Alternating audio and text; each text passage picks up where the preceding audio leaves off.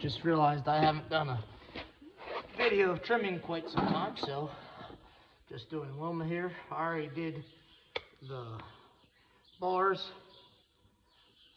I'm just gonna trim her.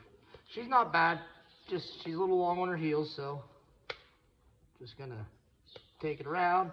And I'm not gonna do too much on the bottom because it is frozen ground out there. Her toe's a little long right here. Um, this is her good side. Her other side has a little bit of a club foot. Not bad, like little girls. I guess you can't really see with my arm there. Like that, so let's scooch over. So, see how I'm not, I don't mean doing it fast, but, you know, people don't watch the whole video, so we try to get as much done as possible so that I can teach as much as possible here. Again, I don't want to take too much off because it is winter time and we do have frozen ground. Right now it's snowing. We're supposed to get three to six inches today, so I want to check the balance. Then I'll bring it forward. I do want to get more of that black stuff out of the bar. Right like that. Um, check my balance real quick. And I'll bring her forward. A little high on the outside. Um, I started doing this for people that haven't seen some prior videos uh, about eight years ago, and then I really my my old farrier was really good. Um, still talk to him to this day, but I had a young lady that wanted to learn how to. Well, a mother wanted to teach her daughter how to be a farrier, so she's now down at Virginia Tech. Unfortunately, I don't think she's coming back. She went through that program. Um, a lot better, nice farrier than up here, in my opinion. But anyways, so now I have to do all the hooves besides Little Girl and Riggs.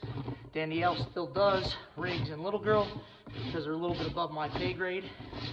Um, Little Girl has worse club foot than what Wilma does, so I do all the other ones because we do barefoot trims on them. Um,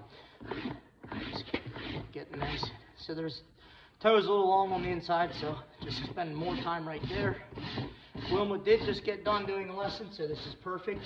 She's a little on the drier side, so now I don't have to get wet. Um, pretty good there. I just was feeling for a ridge, so I didn't feel one. Now I'm just gonna come underneath and roll it, right like that. Switch to this side. During the winter time, it they do slow down a little bit, so I'm thankful for that.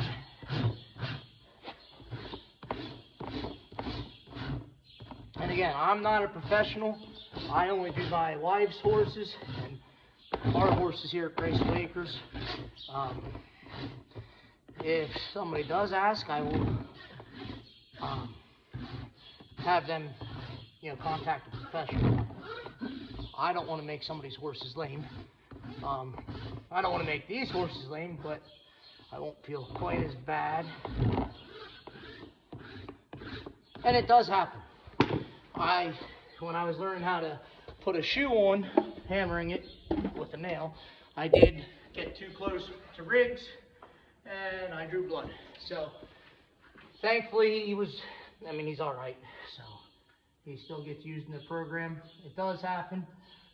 Give your farrier a break. If it does happen, you know, they don't try it. We don't go around saying, hey, I want to make this horse lame today. Um, sometimes horses don't cooperate. So there, not bad. Shoot, I'm at four minutes already. So and one was taking nice, well, partner with me.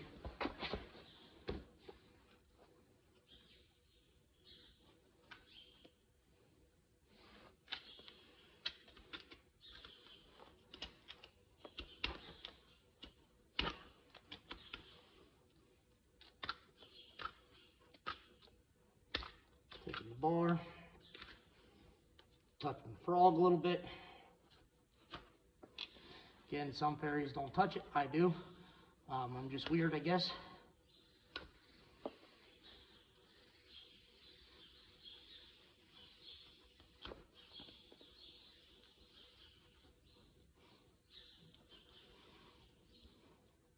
Yes, I do have a, a knife sharpener, but it got legs and walked away. So, just bear with me as I go through that. Uh, again, I might just grasp the heel because it's not bad. Right there.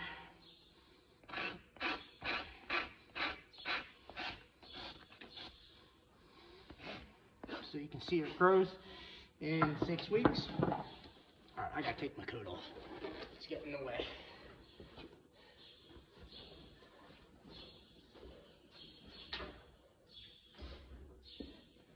All right. Thank you for your patience. Pick this up. So you can see the please cut here line.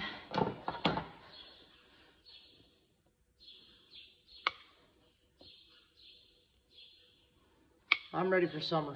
I hate trimming with all this clothing on just because it's hard for me to move around. I like freedom. Just roll on the toe.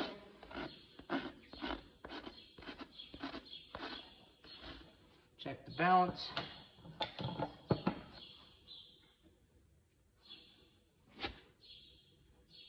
There we go. And I will address that. That little piece of skin that I cut off there, it did make it bleed a little bit. Not bad. So I'll bring this forward. So Wilma's also uh, stiff on this back right. So I'll see if I can address that too. Stretch it out a little bit. Again, the heel is the hardest part for me to do. Um, just my personal opinion. Some farriers don't have any problems with it. I just not as young and limber as I used to be.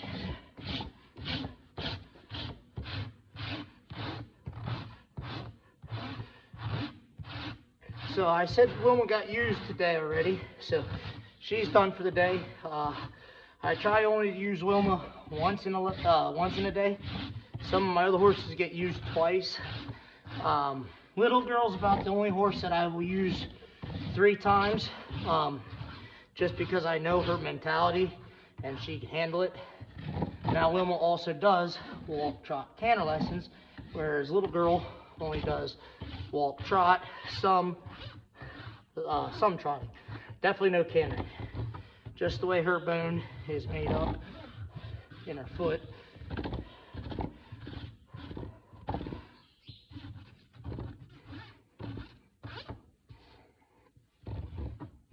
There. Pretty good on that one. So done. Gotta put the dorsal in it. Readjust. It's not as cold as it had been, so I really could shed some layers. But I'm not going to, because I want to get this job done. So I will address that little skin thing that I took took off. I'm going to scoot her over. So how I scoot her over is just put some pressure right here on the front shoulder. She steps over, and then I release the pressure. So bring it back here, right there. Get my tools. This is her club foot side. So right there. Now, on this side, I do, I do take a little bit more heel than you would think would be okay, but to help her move out properly, that's what you want to do. So I'm just trying to get rid of all this junk in there, making, taking a peek underneath, making sure there's nothing under there that is concerning, nothing that I see that I have to address.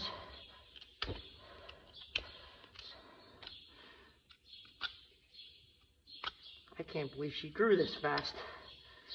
She was due. I try to stay on top of Wilma because of her clubfoot issues and all that stuff. Again, Please no comments about the dull knife. I get it. I just can't find my sharpener.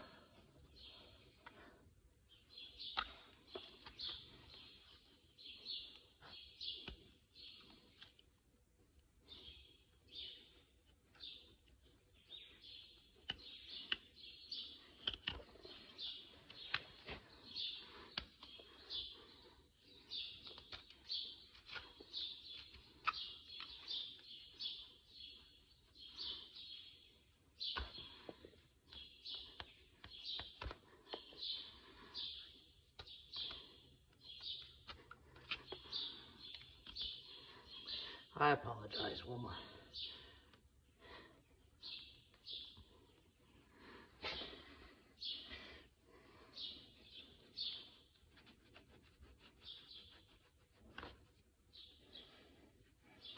Oh, I'm sweating.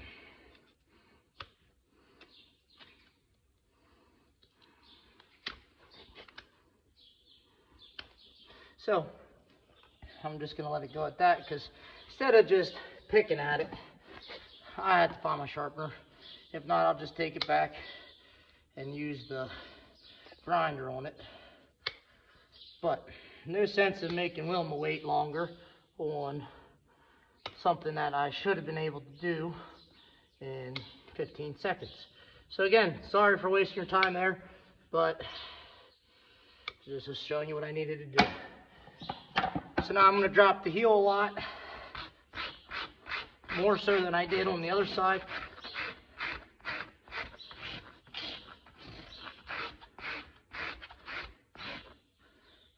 And probably not as much as I should, because my farrier, uh, Danielle, will come and tell me I need to take more off. But this is what I feel comfortable with. So, I'm going to check the balance, roll the toe,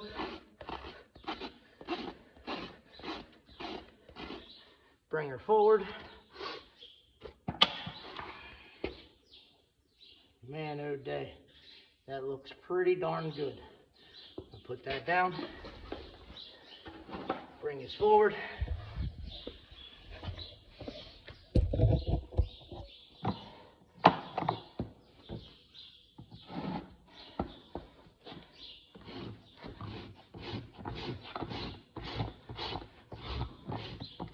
I know, Mama.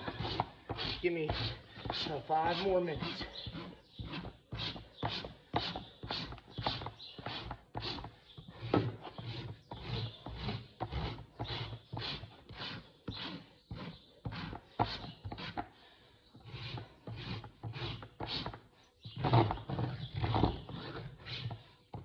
Try to keep my toe as long as possible.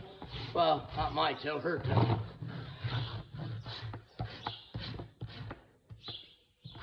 Little spot there I saw I wanted to address. So now I move over here.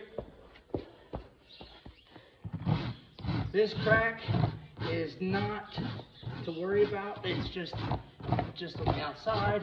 Um, obviously it's on the outside, so it's not having any ill effects to her. Um, the way she moves, the way her hoof is. Um, we do keep an eye on it.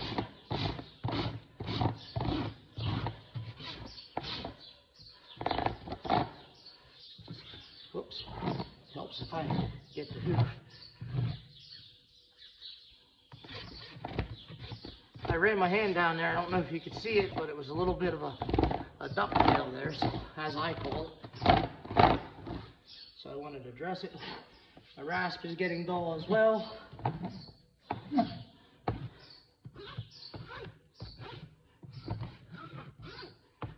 All these things add up. I do have a new rasp, but honestly, I don't like the way it it does the job. I just don't like it, so therefore I'm not going to use it.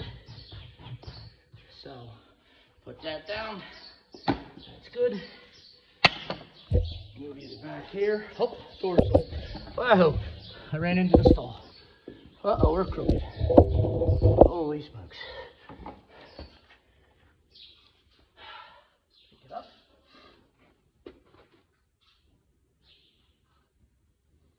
And I will address that frog more once I get my knife sharpened. I told you. I said that. Um, Now you scoot back. Now, like I said, she's been kind of stiff on this back right, but we'll see what's going on here. There you go. Oh, gotta stretch a little bit.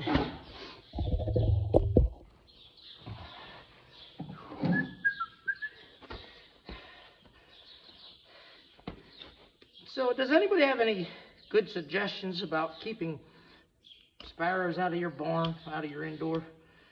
We have, oh, we, I just had that in my mouth, but uh, the rider was on this morning and stinking bird flew up and hit right Wilma right in the face.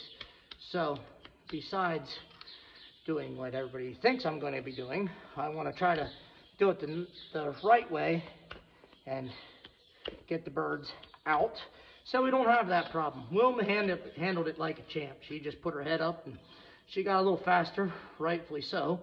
Something flies in my face, I'm gonna get out of get out of the way. Um, she kept the rider safe.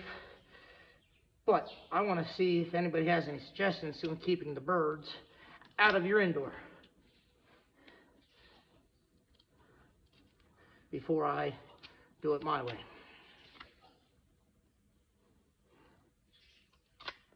Perfect, I like that. Okay, I'm gonna take some heel off.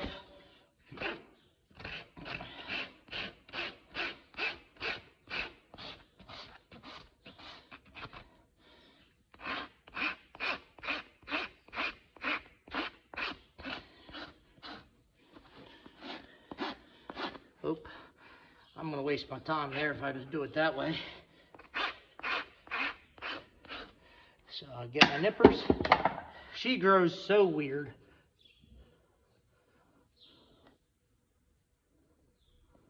Please cut here line.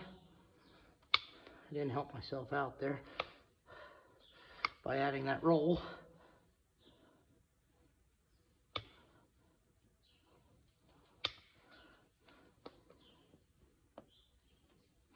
So if I can add an extra nip there, now that when I bring it forward, I'm going to be able to know where to rasp to on the front. Ouch. That might draw some blood. Check the balance. Looks pretty good. Now I'll bring her forward.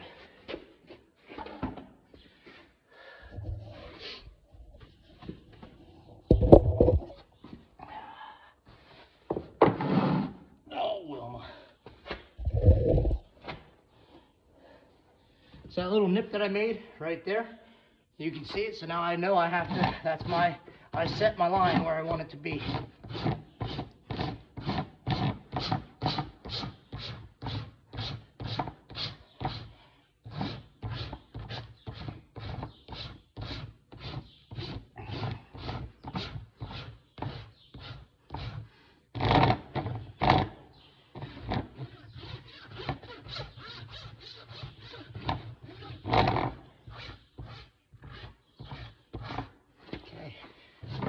Here.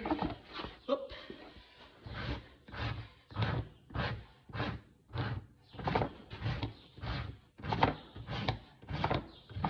And I, for the longest time, I was using my shoulders, trying to muscle through it. But when Danielle was teaching me, um, she said, use your elbows. You know, so it does help me out a lot. My shoulders don't hurt quite as much. Um, now I do take the all-natural supplement, um, and without that, I don't think I'll be able to do it as often as I do.